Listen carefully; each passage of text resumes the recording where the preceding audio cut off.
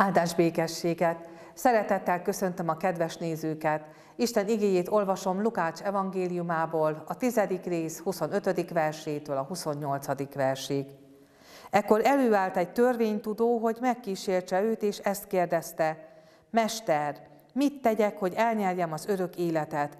Ő pedig ezt mondta neki, mi van megírva a törvényben, hogyan olvasod? Ő pedig így válaszolt, Szeresd az Urat, a te Istenedet, teljes szívedből, teljes lelkedből, teljes erődből és teljes elmédből, és fele barátodat, mint magadat. Jézus ezt mondta neki, helyesen feleltél, tedd ezt, és élni fogsz. Nemrégiben olvastam az egyik kortás szerzőtől a következőket. Uram, milyen legyen a te szolgád? Adj nekem egy listát, és én szép sorra kipipálgatok minden tételt, kiképzem magam fekete öves híveddé, csak hogy a kedvedben járjak. Tudom, álhatatosnak kell lennem, kedvesnek mindenkivel, akár méltó a szeretetre az illető, akár nem, derűvel eltűrni bántásokat, kérlelhetetlennek maradnom a bűnnel szemben, azt keresni, ami szép, jó és tiszta, munkálkodni a szőlődben, terjeszteni igédet, hogy jusson mindenkinek, akinek nyitott a szíve, ne térjen vissza az égbe a szó úgy, hogy ki ne fejtette volna hatását. Jól bemagoltam a leckét? Mi hiányzik belőlem? Mit tehetnék ennél is többet? Van valami titkos összetevő? Csupa fül vagyok. Ne félj, nincs ebben semmi ravasság vagy különleges trükk. Csak annyi, hogy a legelsőről, a legfőbbről ne feledkezz meg.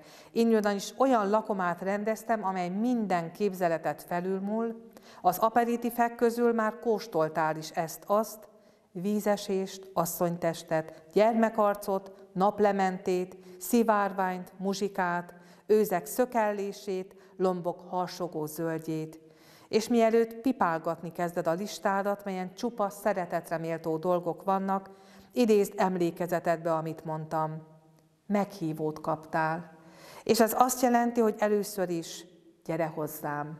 Mielőtt bármit tennél, mondanál, mielőtt elkezdenéd mérgezett egér futkosásodat fel alá a világketrecben.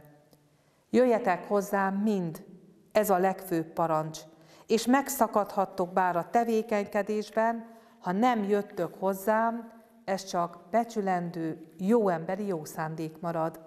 Mit ér annak szerelme, aki lehozza a csillagot az égről, kacsalábon forgó palotát épít, a legdrágább ruhát veszi kedvesének, te sosincs otthon, rá se néz. Ugye nem sokat.